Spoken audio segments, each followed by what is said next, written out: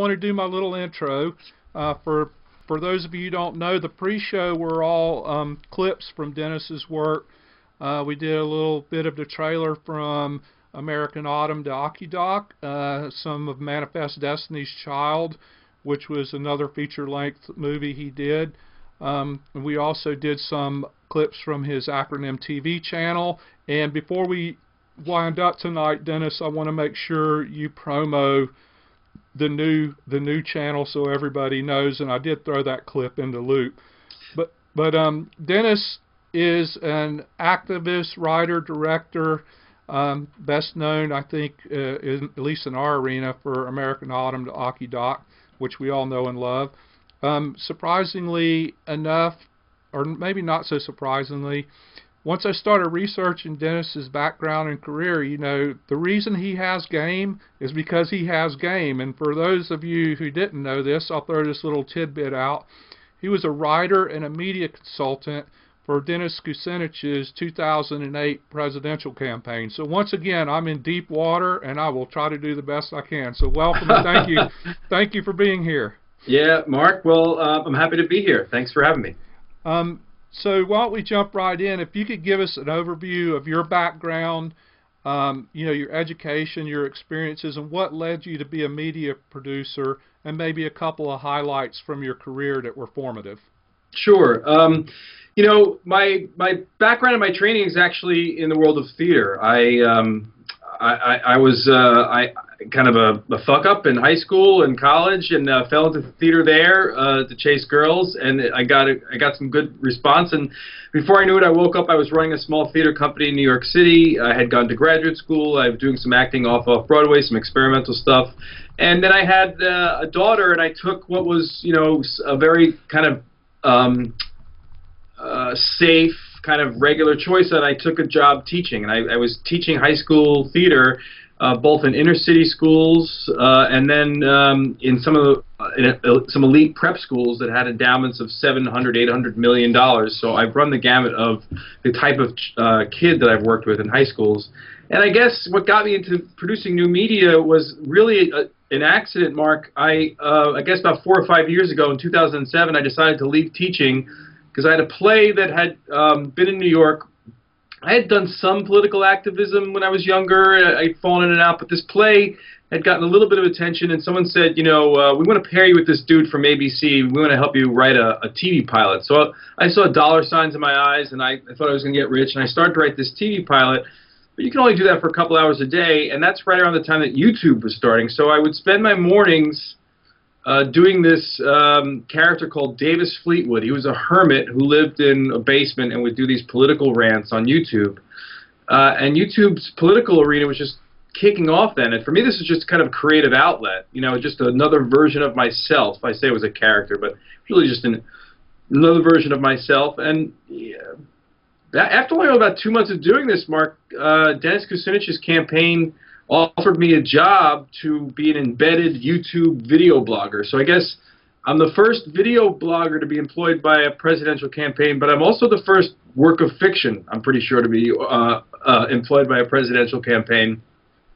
I traveled around the country during the short time with Kucinich, uh, that his camp with the short time that his campaign was uh, going on strong through the end of January. Uh, and then and then it started to become possible for making video content to be at least piece piece some kind of a living together between people who give donations on the website uh, and generating ad revenue from the videos and things like that. Um, and then you know I, I, I became I started doing video and I, I started uh, my my entree into the Occupy movement was actually through a group called the October 2011 Coalition. I was doing video and organizing for them uh, this was a group that had called for the indefinite occupation of public space in Freedom Plaza, Washington, D.C. This call came out way before the Adbusters call, and I was working with a lot of seasoned activists, and I committed to going to, uh, leaving my wife and family and going for a month down to uh, Freedom Plaza in Washington, D.C., because I thought this was the beginning of a revolution. Uh, it wasn't the beginning actually. We were late. Uh, Occupy Wall Street came along, and thank goodness, and we became the uh, the thing at Freedom Plaza became one chapter in a much larger uh, national and global movement, which is very exciting. And um, you know, I got to make a, a, documentary about that, which you mentioned, and thank you very much. And I'm proud of that work. And uh, now I'm back into daily video production. Uh, I just teamed up with the Young Turks uh, network, so I'm part of the Young Turks distribution network now, uh, which just means um, I say whatever Cenk. You, no, I'm only kidding. Uh, it just it just means that uh, I get to share in the distribution leverage of the largest online news media channel uh, in in the world. So uh, I'm looking forward to that, and I've been able to carve out an independent, doing things that I want to do, saying things that I want to say, making enough money to pay my bills, and usually and I'm at home in time to play with my kids uh, when they get home from school. So all's good. Yeah, so you're you're living a dream that a lot of us aspire to. So and I want to tell the folks, I mean, they've heard me me talk about you frequently, but one of the highlights of my year last year was being able to meet you and to hang out with you a little bit at DNC, and I just I just learned so much from the limited time we got to spend together about um, you, your your art and craft and how you conduct yourself. Um, to see you as part of some of the meetings that we were doing up at Area 15 and just how you worked in the field. It was just very inspiring. So I, I learned a lot, and I'm just still digesting all that. So I appreciate, you know, my fortunate exposure to to meet you, and you were very supportive and generous of what we were trying to do down there. So um, I just wanted to get that out in the open in front of everybody. um, so you touched on fictional characters in politics, and I have to guess that there's probably a lot more of them than Davis Fleetwood, because all evidence, you know. But um, you you did mention you're politically active, and maybe you could explain to the people how that informs your work, your daily work that you do, for people who aren't familiar with it yet. Yeah, I guess you know, like a lot of people in the Occupy movement, uh, I. Uh, this sounds funny for someone who worked for a Democratic candidate for president, but I, I guess you know four or five years ago I might have thought um, that if we get the right group of Democrats into office, that we could really make some positive change. I no longer think that. I would not work for a Democrat now. I would not work for Kucinich now. Um, I like, I respect the man, but I, I just don't see any way out. Any way. I mean, the the system that that we that we live in now, the pendulum swinging back and forth between left and right, and that pendulum swing is remarkably tiny, right? So this is how my political views inform my work. Uh, I'm way outside of that, so I'm never going to get a job in the mainstream media. I don't want a job in the mainstream media. I think part of our job as independent media is to cut down one of the pillars that's holding up this empire, the American empire, which is, I, I think, quite literally a homicidal force. Mm-hmm. That we cut down this pillar not by necessarily attacking it, but by create, you know, creating our own media. Create, and that's the one of the great uh, democratic forces of the internet, right? That people can tell their own stories, tell the stories that they think that they need to, that need to be told in a way that, that that they feel needs that they need to tell them to get the stories out to the people who need to hear them. You know, and it's very difficult. It's like you know a salmon swimming upstream trying to get your voice heard in between the the the kind of deafening sound of that's going back and forth between MSNBC and Fox. Mm-hmm. So the way guess my politics informs my work is that I, I have taken it. I see I see myself as one person among many uh, whose job it is to create a new uh, media to def- help defeat this empire. I'm, I'm participating in a nonviolent revolution. Best like. Um, that was, I mean, that was a pretty pretty great and succinct um, summary of that. And you know, it's the the whole making our own media thing is so important. And um, I, in researching this show, I kept referring back to some of the stuff Amy Goodman talks about about how the media can be like the big dinner table that we all gather around and exchange ideas and information and have debate and argument and bring things out into light and how so often most often MSN is is not that, and that it's mm-hmm. incumbent on all of us to try to do that. So I appreciate that sentiment. Um, do you want to expand a little bit on the role of new media in the arena of the social justice movement? Um, you know, uses, uh, benefits and drawbacks? Mm. Well, you mentioned uh, I, am not. I sh- you said you mentioned that Global Rev might be carrying our conversation tonight. Right, right you know, I remember being, you know, out in the field in the early days of the Occupy movement, out out on the road for weeks at a time, uh, uh, filming myself. But then, you know, as a husband and a father, having to come home. Uh, if I wanted to know what was going on at any different any different location, if I wanted to know what was going on in Tahrir Square, what got me inspired to get involved with the Occupy movement to make the documentary in the first place, I, you know, is is from uh, people like Vlad and uh, GlobalRevolution.com. Uh, so, you know, from that point of view, it had a very direct impact on me to get to basically turn over my life to this issue and to this cause and to creating media around it. Uh, and I'd like to think that I, in turn, have also influenced others to get involved as well. So, I mean, you know, it has a it has a very direct impact. There's stories that uh, that that are moving that need to be told that don't get told on the mainstream media.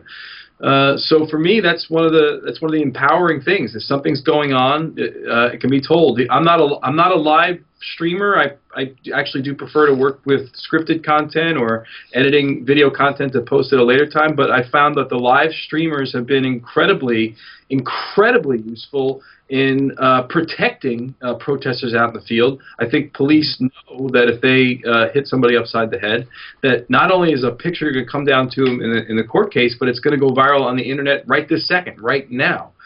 Uh, the limitations, of course, are in, distribution channels. Most people, the large, the overwhelming majority of people, in this country who may agree with us if we got to sit down and have a cup of coffee with them are really not bad people. They're just busy. They're busy living their lives, paying their bills, getting their kids off to school and getting home and, and or whatever they're doing.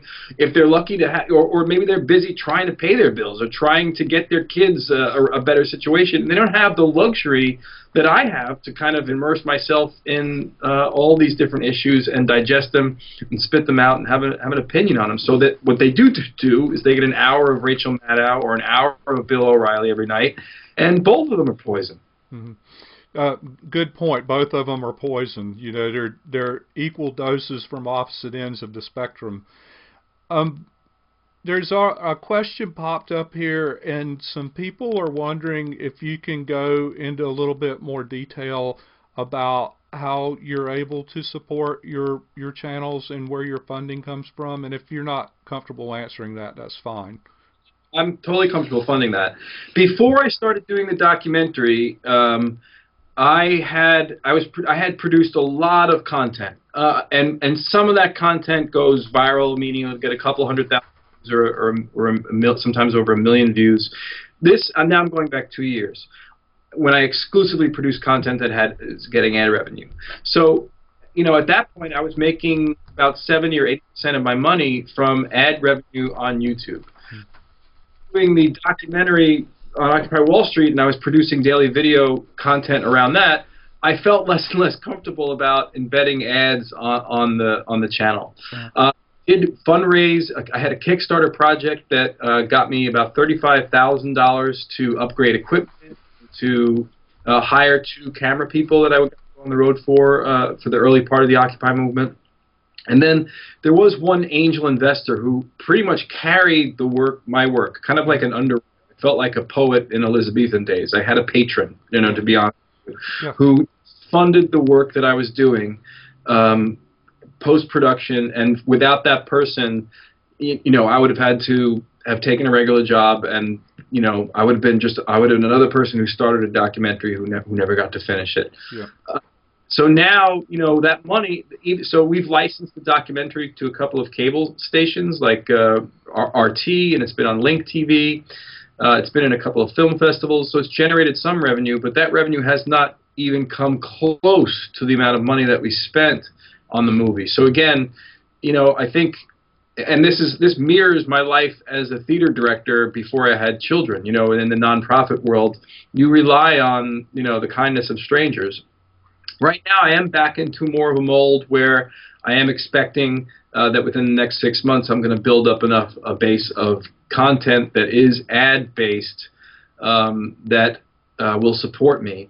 Uh, and at the same time, we're going to start to we're going to try to build up a, uh, a, low fee, like three dollars a month, for people who want to subscribe to Acronym TV, in the hopes that you know by the end of 2013 we can drop the, the ads out of the out of these videos and be totally viewer supported and sustained. But for right now, uh, and I did sweat about this for months and months and months. Um, we're su- we're supported with, with ad revenue and uh, with underwriters. Okay.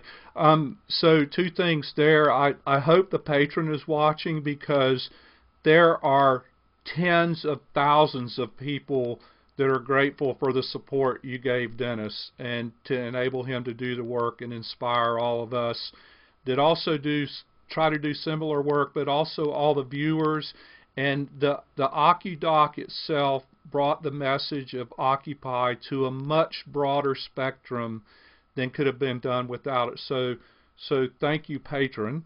Uh, the other point I want to make of that last little bit is one of the things that's always struck me about you is is your professionalism and the way you're you're trying to develop a sustainable model, which is everybody's challenge.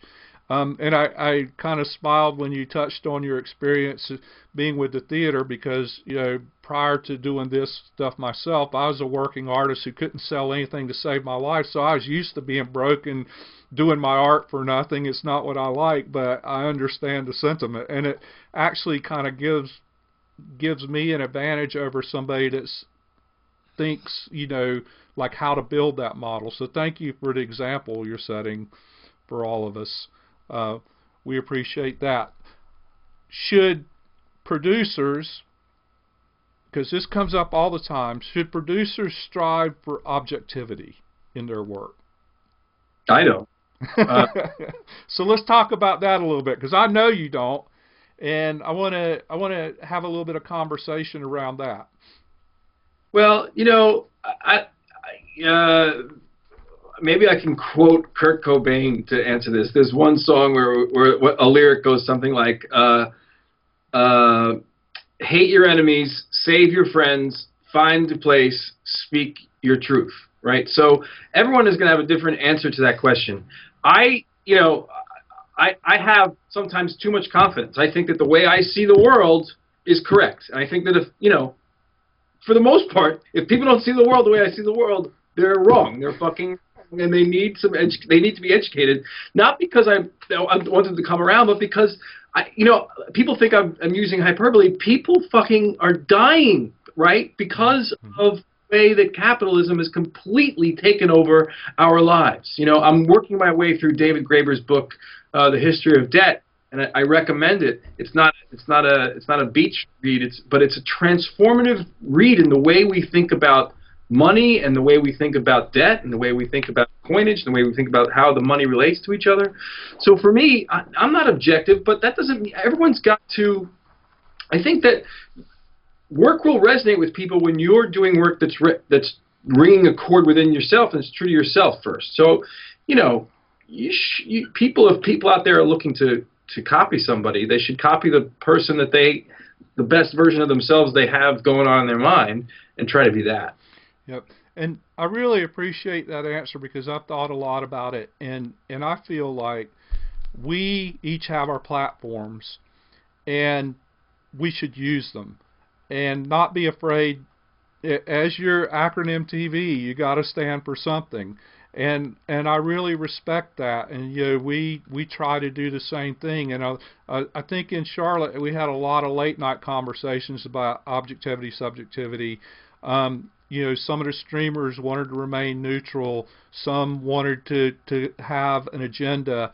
And so I was taking in all this information, and I think over the year I, I made the statement I've become much more radicalized, for one thing, because I early on I was like, well, we don't need to reinvent the wheel. Maybe some reform is the answer. But now I'm completely scrap it all. Just nonviolent revolution. Let's start over and do it right.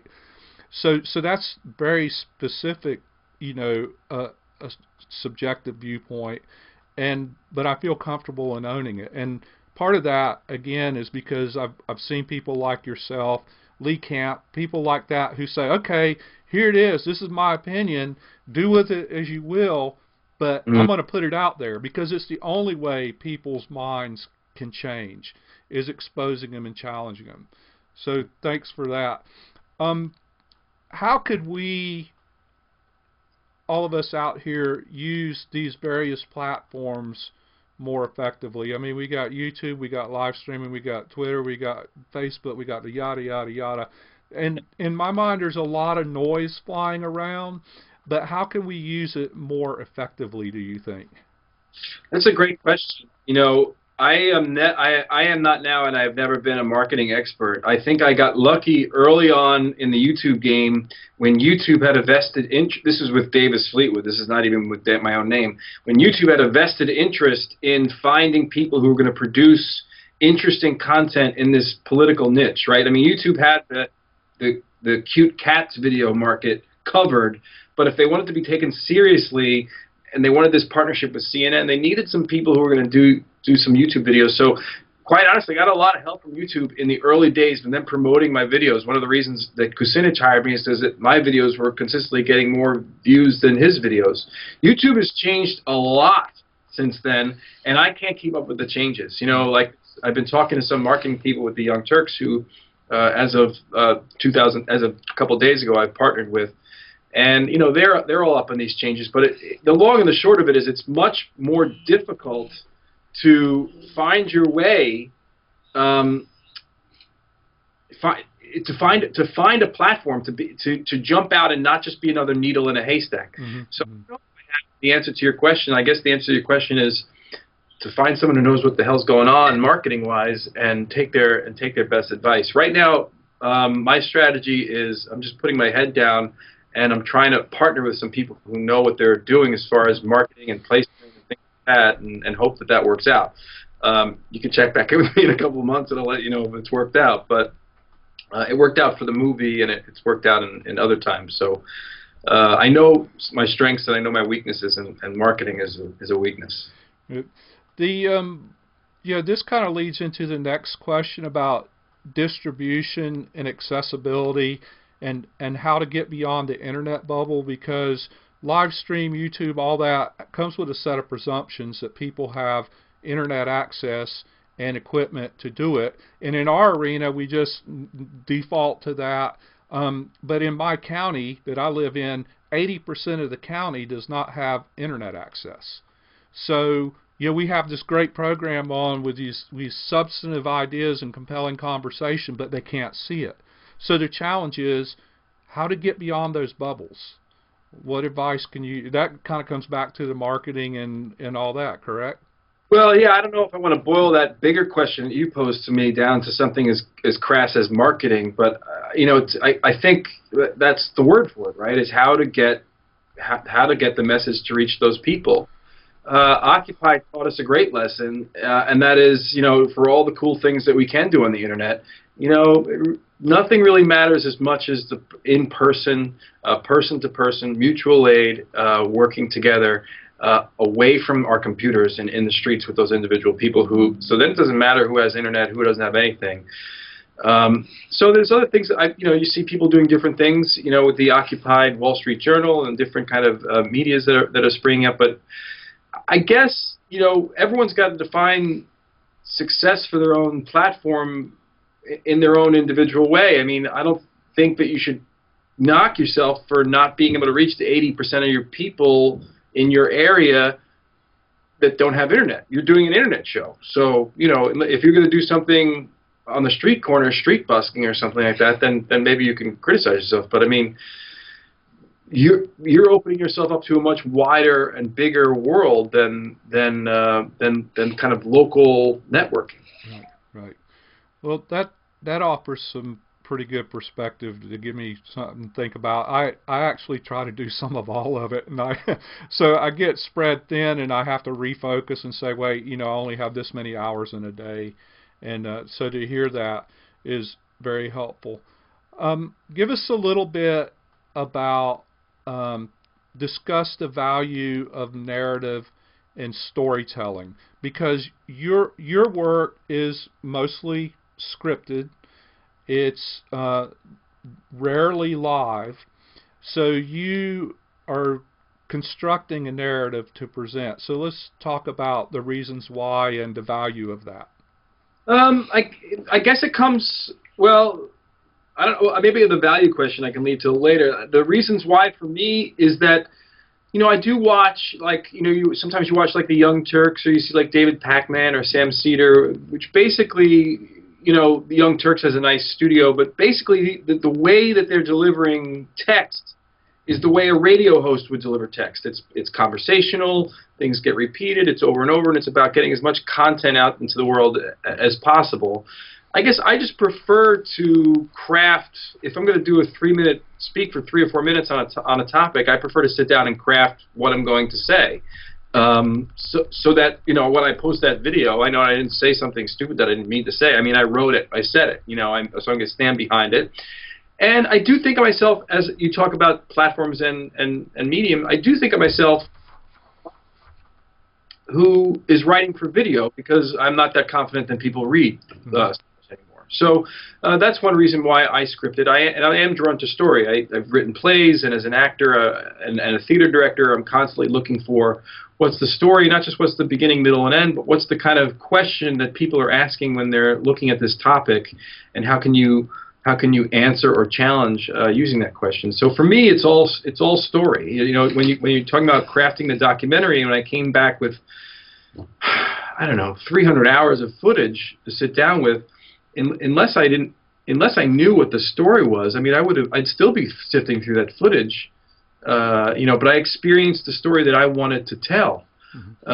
Um, I wanted to tell very, very strongly, and so I was, I was looking for specific things as I was going through that editing process. So for me, it's, I mean, I think that's a acute observation. Um, the value, the value of that is that I think we're wired that way. I mean, you know, it, we, we, we learned about Aristotle's poetics when we were looking at, at um, uh, at, at dramatic theory in, in graduate school, right? When I was taking acting school, and you know, it seems simple, but Aristotle was the first person to say the beginning is that part of the story before which nothing happens, and after which the middle happens. The middle is that part of the story before which the beginning happens, and after which the end happens, and the end is that part of the story before which the middle happens, and after which nothing happens. You know, and that's deep and resonant because that we're born, we live, and we die. You know, each story is a little bit of a life, and I think there's a rhythm uh, uh, to each story that I try to find, and that the and that you don't always find that. The, su- successful kind of short form video commentaries that I do, I think, fit into some kind of narrative.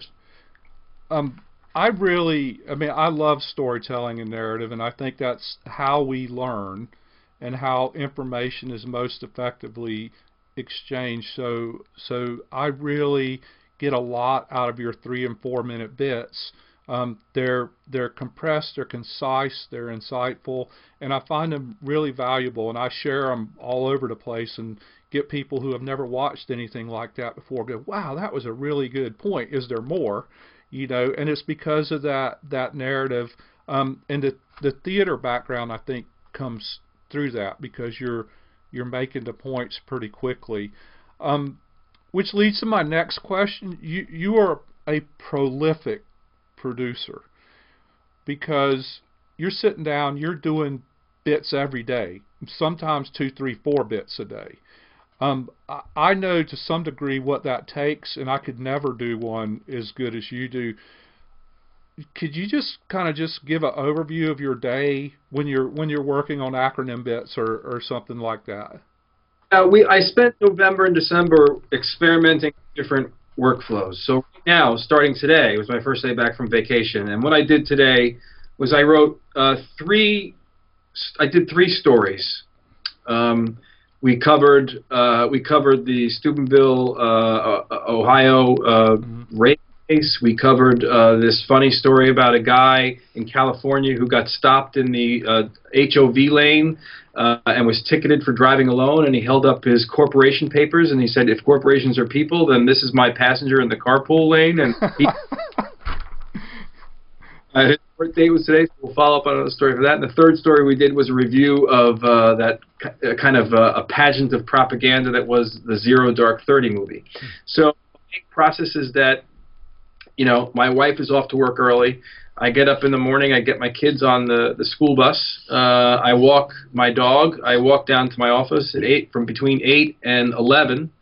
Uh, I write. Uh, I try to get them done. It took me a little longer today, so by then I took some lunch, and then by one I was shooting uh, the video in my little studio, and then by two I'm back here editing and rendering and putting together what is a 12 minute video, which was uploading just when we started this, so it's probably uploaded now. Mm-hmm. And then I actually have a, I, I just, it, I just have a partner, uh, a woman, AJ Russo, who was my uh, assistant uh, editor and assi- associate uh, producer on American Autumn, who lives in upstate New York. I sent her the YouSendIt file, and she'll take those three, the, the, the big 12 minute video, and she'll cut them into three short stories.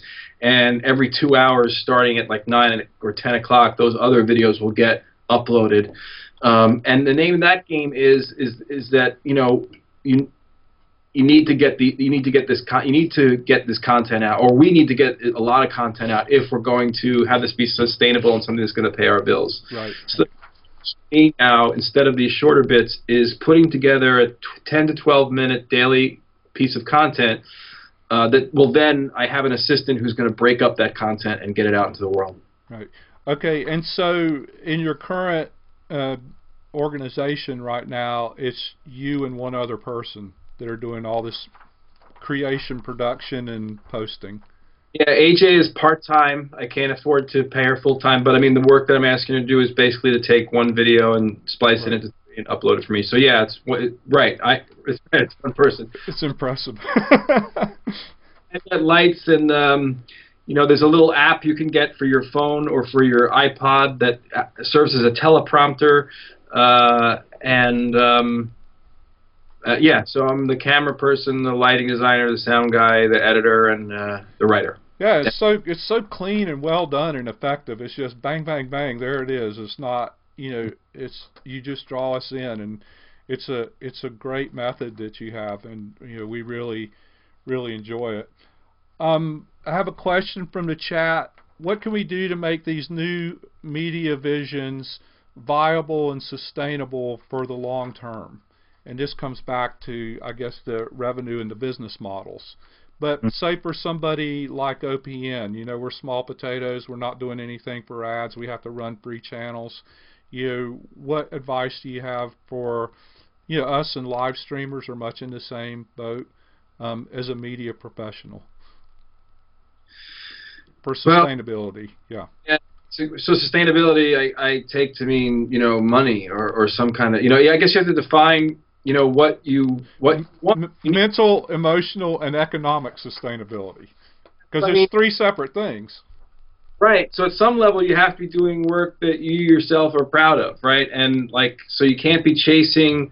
You know, I'm sure that I could do video commentary on you know Katy Perry or or whatever, and we could make we can make some money. Like th- these videos will find their algorithm on Google and YouTube, and they'll be seen more often, and the ads will get clicked more often, and we'll all make more money. So the, the first step is you have to do some work that you yourself want to do, and you feel like you're doing some good work that at least you're proud of.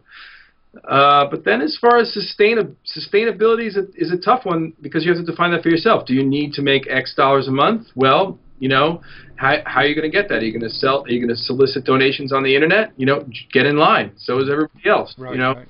difficult. You know, and mainly if you're doing the types of content that we're talking about um, that's existing outside of this narrow left-right paradigm, which which kind of swoops up most of the population, your audience probably doesn't have any money. So even if they really wanted to help you, they probably can't. Mm-hmm. Uh, they help you in other ways by um, aggressively sharing your video or or uh, blogs or podcasts or live streams on Twitter and Facebook and things like that. So I think for sustainability, the first thing is find a community, and that'll sustain you you know that'll sustain you emotionally that'll sustain you spiritually that'll sustain you creatively. Uh, and then again you know the money thing for me is like marketing. I've been a little bit lucky since you know i'm 43 and i, I quit a, a very good a very well paying uh, teaching job uh, five or six years ago. And i've been lucky in that i haven't fallen too far behind. I mean i have a ton of graduate student debt that i keep deferring I have some credit card debt, but for the most part, I'm very lucky, Mark. You know, my kids, you know, if they want to take a karate class or a music lesson, you know, I I somehow have the money to to pay for it. Uh, so, but I, I'm very lucky. Um, I don't. I mean, I don't. I don't think I have a magic bullet to answer the the money part of the sustainability question. Right. You you you know you speak to something that resonates with me because I I mentor a lot of artists and I teach a lot of post grad um, artists, uh, do seminars and things like that. And that's always the question: How am I going to make money at my art? And I I say, you know, really, I think you have to get over making money with your art. You have to do it because you love it and because it needs to be done, and just figure it out. And you're you know, you're a good example of that. I might I might play this interview for some of the seminar classes I do. um, well, following that, what advice do you have in summary for media producers, whether they're bloggers, live streamers, uh, people like us that do interviews, uh, writers? Uh, what what's your your words of wisdom and advice you can leave us all with to ponder? I have a lot. I have some words of wisdom, but I don't want anyone to think that I have followed this. So this is myself, right? Right. Uh, me, we talk about the artists, and you know, I, you know, I, I my create my background is creative. I, I do believe in the power of limits, creatively speaking. Mm-hmm. For for me, what I'm trying to do is to block out all the other ideas that try that hit me in the mo- head in, in the head every morning that are impulses to start other things and just stick with the template that I've created for myself and commit to it for a year. You know, I might not see the video views go up for a little while. I might not see the revenue come in for a while, but I know I look at the stuff at the end of the day. Uh, that this one might be better than that one. This might be better, but this template for me works. So find a template for you that works. That'll keep you sane. That is not. Don't try to do too much work. Stop working at some point and go home and go for a run or go play, you know, bocce or whatever. Work a, a you know, work hour, you know, eight, ten hours a day, six hours a day, whatever you want to work, and then stop. But find a template that you can do in that, and then repeat that every day for a while. There's very few people that you look at, uh, you know, as far as like famous actors or even people who have a lot of viral videos, they come out of nowhere. That's usually the product of a lot of work, maybe some luck, maybe they knew the right person, they had the right connections, all those things factor into it. But for me, and again, this is advice that I'm trying to follow myself, and I'm not very good at it. But I, I have I have had success with just finding a template and repeating that template. For, so for me, that's waking up every day and by eight o'clock, starting to write three stories a day, get three three videos out a day, do interviews, and post them over the weekend, and have some fun with that. I think that's great advice. I mean, I've been trying to do that myself for the very reason because I wake up and I have 50 ideas, and you can't you all you do is end up doing all of them badly you know so it's just like narrowing that range and focusing. So um, we have any other questions from the chat? And um, if not dennis is, is pretty busy and we're not going to keep him on for our long rambling conversations tonight. He, i can hear his phone going off too. Um, i was i'm waiting to see if any other questions come through the chat but I, I really want to thank you so much for taking the time out of a, a busy day to speak with us. I, I have an enormous amount of respect for you. A lot of the crew that I work with out of DC and everything are tuned in tonight. This was a eagerly anticipated interview. Um, we're getting a couple of questions. One, are you doing any work that revolves around Hurricane Sandy? Uh, I'm not. I mean, I'm in touch with a lot of the people who work at uh, uh, with Occupy Sandy, but I, uh, although I'm a New Yorker by birth and disposition, I live in Groton, Massachusetts, which is about halfway between, you know, uh, in Massachusetts or Lowell, Massachusetts, and Boston. So uh, I would have to leave my family if I was going to be engaged on a day-to-day basis with with Occupy Sandy, and I, I have to clarify for some people, I do think of myself as an activist slash writer slash entertainer, but like I said before, I don't know that I can always do all those things all the time. So I, I think that where I've settled now is that I want to be a media producer who shines uh, light on, on on some of these other things. So, mm-hmm. you know, on interviews with on Acronym TV with, with uh, surrounding people with, uh, working on Occupy Sandy and uh, with the Rolling Jubilee, which I think uh, are two of the most exciting things to come out of the whole Occupy movement in, in this in this exciting this whole time. I, I gave holiday gifts of uh, gifts in the name of to the Rolling Jubilee to uh, extended family members and things like that. So, but no, as as far as an activist and an organizer, uh, that's not actually my focus right now. My focus is on creating media that shines a light on some of the fantastic things that those people are doing. Right. Excellent. Um, I have a message here that Bernadine Zinni calls from California and says, "Tell Dennis I say hi." Um, she remembers you fondly from Freedom Plaza, um, so we wanted to get that in because if not, I'll get a phone call from her. Um, here's an, here's another great question. When so much of the inju- when so many injustices are so entwined, intertwined, do you find it difficult to stay on one topic?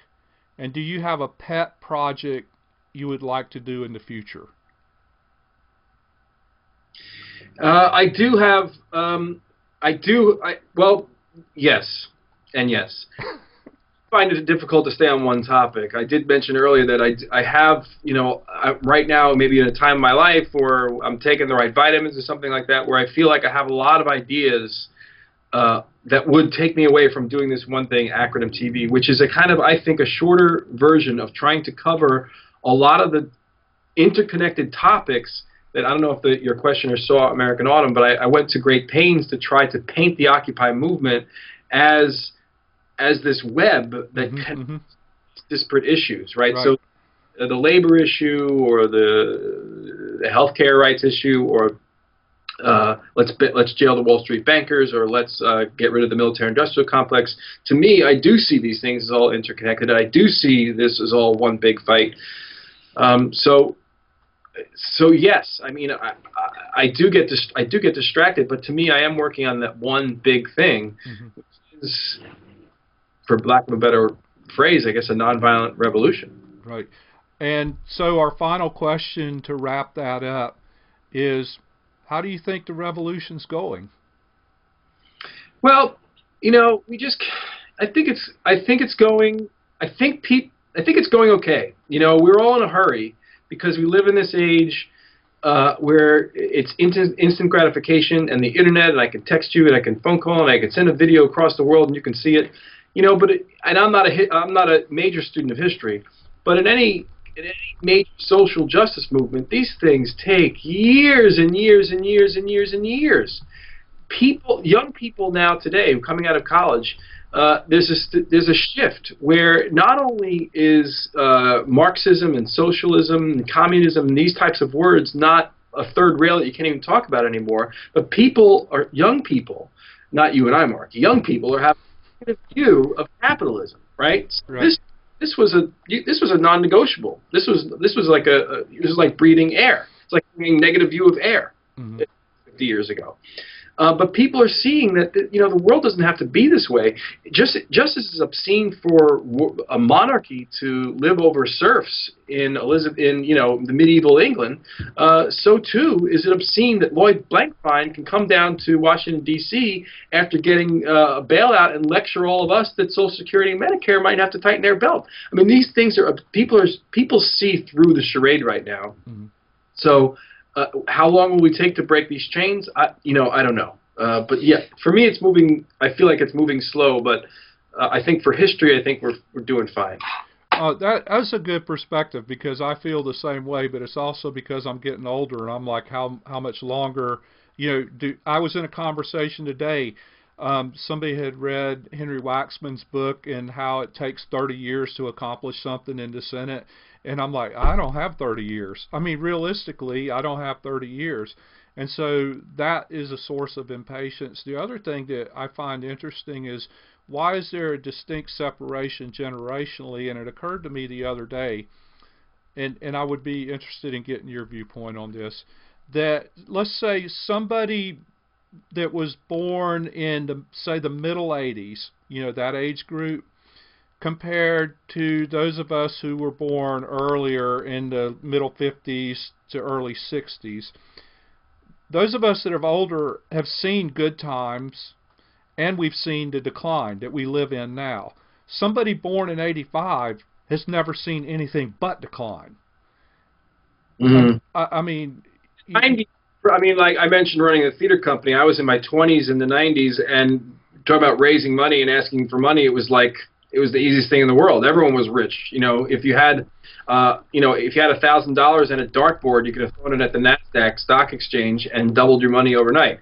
I had a dartboard. I didn't have a thousand dollars, but I was running a theater company, and you can get that money. So I think, you know, but since the, I mean, then since I think culturally the shift has been going on. Certainly in my mind, at least. Uh, going back to when Reagan uh, broke the airline, uh, Mhm. the war on workers really back was was broken a long time ago, um, and you know the, the labor movement's been l- lumbering around, um, hurt and hobbled ever since.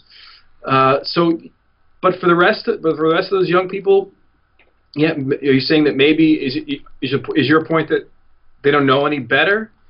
Well, they haven't seen the like this this sort of degree of hopelessness is because they haven't seen anything that was better. It's just been a steady downhill ride. Well, gee. I'm a buzzkill, aren't I? No, because I'm trying to kind of trying to think of how how you know to provide encouragement and sustain people for the struggle. You know. that young people should be encouraged because they're living in an, an unbelievably uh, you know, they're living in their their lives are his, history book material. Their lives are like where were you when material. Where were you when uh, the movements first started to uh, gain traction in the world? Where were you when this cultural shift started to happen?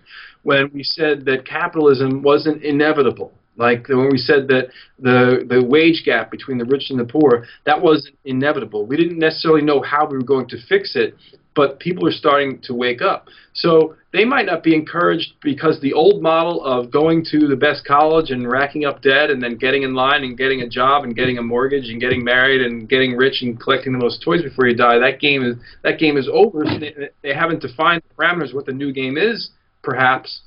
Uh, but I think that they should be very excited and hopeful because they're living they're living in a historically sh- uh, shifting sands of time. It's an exciting time. I love that. Um, I'm going to close now, and I want to get this in because uh, Occupy DC is on the stream with us, and um, the media team there is asking when you might be coming to DC again because they need some help and instruction on how to edit some audio and video for We Act Radio and uh, some of the channels down there. So they're looking for when you might be coming to DC again. Outside chance they'll come down there around the inauguration. But like I said, right now, Mark, my, my focus has been um, just stick to this template. You know, like uh, uh, DC is is a, is either you know an expensive plane ride or uh, a 12-hour car ride and then crashing with friends. You know, like Yeah, it's yeah. hard to give it the work. So. I, I I loved my time in DC, and I, I think just to double back a little bit, I won't take up too much more time as far as like the story I was trying to tell and and objectivity. Mhm. If Occupy DC is on the line, then I, there was a really fascinating documentary that I could have made that I didn't make about the the differences between Freedom Plaza and McPherson, which which fascinating these two occupations in Washington D.C. and how there were some people in both camps who could who viewed uh, the, the the nation's capital having two occupations as a positive thing, but truthfully, most people in both camps viewed each it as a negative thing, and there was some animosity between the two groups. And it was a fascinating story. I was committed to telling a story that inspired people to get involved with the Occupy movement, and I couldn't wrap my head around how, you know, if a couple hundred people in D.C. couldn't get along, how that would be inspirational. Yeah. But uh, but it's a, it's it is a fascinating story. But I have you know made some ties and, and friendships with uh, you know people in, from both McPherson and Freedom Plaza, and I think hopefully by now those designations have have gone into the ether. and It doesn't quite matter. Yeah. Um, Okay, so Rob, you know, maybe inauguration, but you know, we're we're working to template, we're working the system, and we're focusing. So, Dennis, thank you so much for being with us tonight. I really appreciate the time. The good work, the inspiration you you give us, and thank you for such a wonderful interview. We really appreciate it, and I want to pass on the gratitude from the viewers on our channel and also the viewers on Global Rev, uh, Occupy World News Now, and um, Ribosome's channel. I forget the name right off the top of my head, but we really appreciate your work and your time and your effort, and uh, please accept my gratitude. Thank you very much, Mark. Great. All right. Oh. Have a good evening and have a good week. We'll be looking forward to what's going on on Acronym or the Young Turks channel. Okay. Thank you.